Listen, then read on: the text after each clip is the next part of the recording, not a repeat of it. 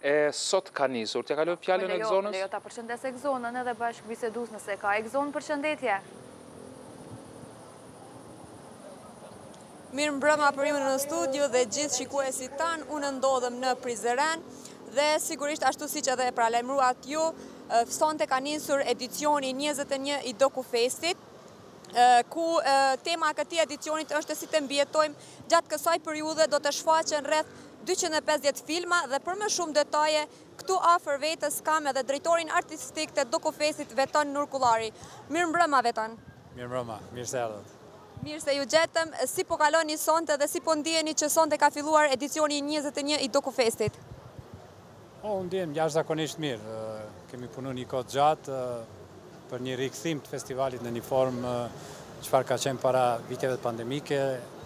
E patëm një ceremoni t'hapjes për mendimin tim të jashtëzakonshëm, veçant, jo ordiner, paksa ndryshe, po në fakt ndihem shumë mirë, ka shumë njerëz, ka shumë mysafirë, interesimi është i mirë, ndihem fenomenal. E cekët që jemi rikthyer në Dokufest në formë fizike, por çfarë ka risi ky edicion sivjet? Po ka mjaft risi.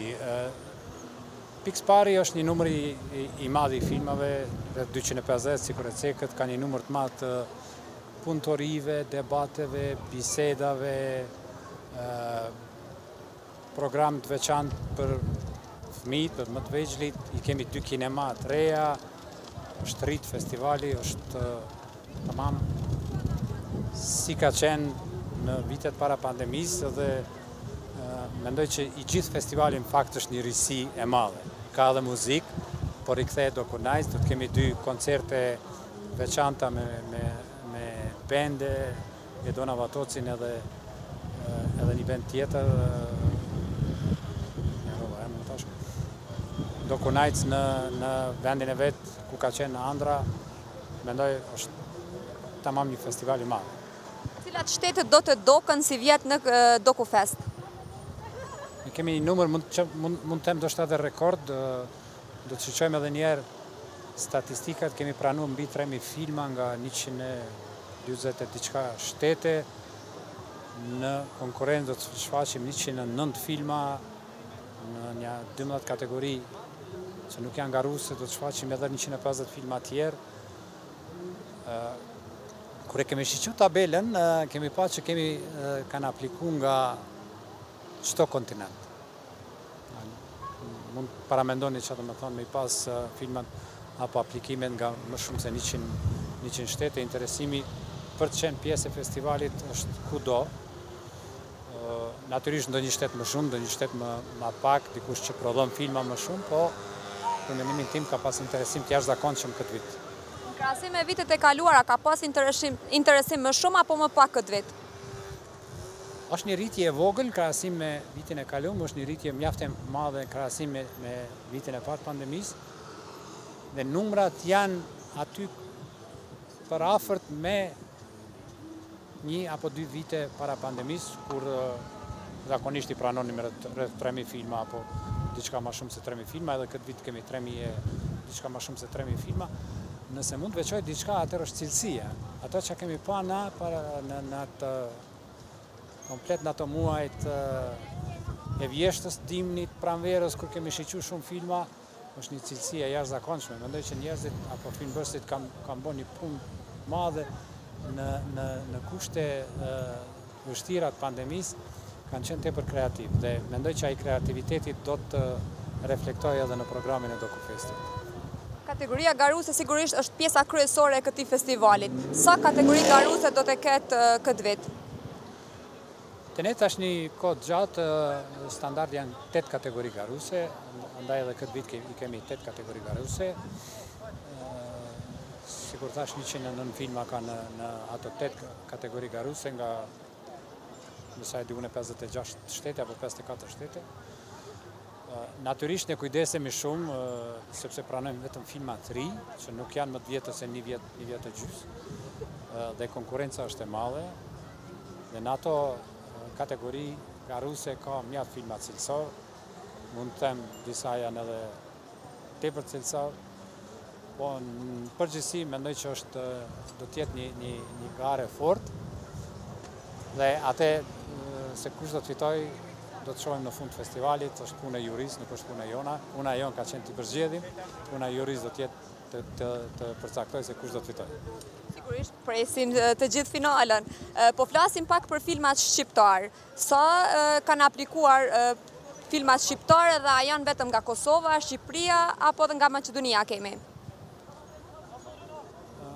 Ka qenë vit i mirë për, për kinematografinë në përgjithësi shqiptare, qofshin ato nga Kosova, qofshin nga Shqipëria, qofshin edhe nga diaspora, se kemi pas filma tepër të mirë edhe janë përzgjedh disa filma të Filmbërësve tanë që jetojnë në në diasporë, qofshin ato në në Belgjikë për shembull apo në Zvicër, nga Shqipëria ka një numër të konsiderueshëm të filmave të mirë.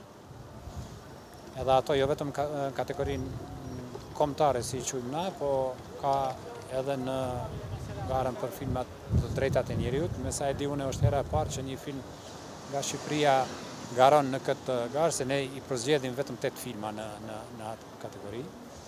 Ka dy filma kosovarë që janë në garën ballkanike, të dytë janë nga Kosova, që janë të dytë filma tepër të mirë për mendimin tim. Ka film nga Shqipëria që është në garën ballkanike dhe ka një numër të konsiderueshëm të filmave që janë prodhim i Dokufestit Dhe fryt i punëtorive që që i bëjmë na me të rinjtë, e që janë në kuadër të programit që quhet Future is Here, do të jenë 7 7 filma aty dhe 5 filma tjerë në edhe një program trajnus që e bëjmë bashkë me OSBE-në si, si partner dhe sponsor. Andaj janë 12 filma të filmbërësve të ri, dhe janë rreth 15 filma qofshin ato nga Kosova, qofshin nga Shqipëria, qofshin nga diaspora. Po, ka qenë e vështirë përzgjedhja e filmave, jo vetëm nga Kosova, por në përgjithësi, sepse 3.000 aplikime dhe përzgjedhja në fund e 250 filmave, Është një shumë goxha e madhe që kanë apliku. Po nuk ka qenë lehtë natyrisht, po ne kemi punu një kohë të gjatë dhe kemi një ekip të mirë, i cili punon, hulumton, shiqon, vlerëson dhe në fund përzgjedh. Dhe mendoj që i gjithë ekipi i Përzgjedhjes ka bërë një punë të mirë, do të shihet ajo. Unë nuk du tash të lavdoj diçka që për të cilin ne në fakt e kemi festivalin dhe tjertë janë ata që, që do të vlerësojnë, po nëse unë dua të jap vlerësimin për ekipin që ka bërë përzgjedhjen, mendoj që kanë bërë një punë jashtëzakonisht të mirë dhe unë mburem me me përzgjedhjen e këtij viti, sikur edhe viteve tjera, po ky vit nuk ka qenë i lehtë për, për, përzgjedhje, sepse e ceka edhe ma herët, ka pas filma jashtëzakonisht të mirë. Dhe shpesh më duhet të them që një pjesë e, e, e filmave që kanë mbetë jashtë, me ato do të kishim mund ta bëjmë edhe një festival. Si janë pritshmëritë e juja për këtë vit? Larta, Sepse është një rikthim edhe ka një interesim të madh. Konstelacioni, nëse mund ta quaj kështu, i ngjarjeve kulturore në Kosovë është i mirë. Ka edhe ngjarje të tjera, ka njerëz që kanë ardhur edhe për ngjarje të tjera e që vijnë edhe për Dokufest. Natyrisht që ka një numër të konsiderueshëm e të madh të njerëzve që vijnë enkas për Dokufest. Interesimi është i madh sepse qe një dy vjet ka ndodhur pak ose s'ka ndodhur fare ose ato që kanë ndodhur nuk kanë qenë në në një cilësi lartësi të asaj se Çfarë do të ishte pritshmëria për një ngjarje sikur DokuFest? Dhe pritshmëritë e mia janë të larta. Unë mendoj që edhe njerëzit kanë dëshirë, vullnet për të qenë pjesë edhe për të pa ngjarje kulturore të nivelit çfarë është DokuFesti dhe natyrisht unë pres që të jenë të kënaqur, edhe të ndahen të kënaqur. Ne jemi në minutat e fundit, përveç në Prizren, ju do të vazhdoni edhe në Tiranë, në cilat data do të jeni atje? Nuk i kemi ende datat për Tiranë, sepse ajo është vetëm në, ende në, në fazë të, të një ides.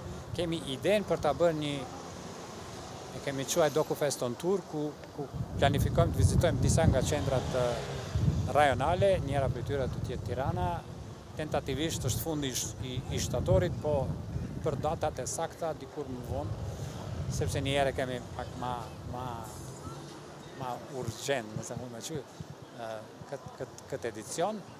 Si ide është fundi i shtatorit, po ajo duhet të përputhet edhe me me disa elemente tjera në Shqipëri, po jo vetëm në Shqipëri, edhe në Mal të Zi, edhe në Maqedoni, sepse ideja është të vizitojmë edhe disa qendra tjera rajonale. Faleminderit shumë, ishte kënaqësi që patëm një intervistë edhe na treguat rreth Dokufestit. Ju urojmë një natë të mbarë dhe sa më shumë vizitorë të ketë Prizreni. Ju faleminderit edhe ju edhe për interesim. Atëherë kalojmë linjën tek ju, ne ju përshëndesim nga Prizreni. Faleminderit. Tek zonë përshëndesim edhe ne.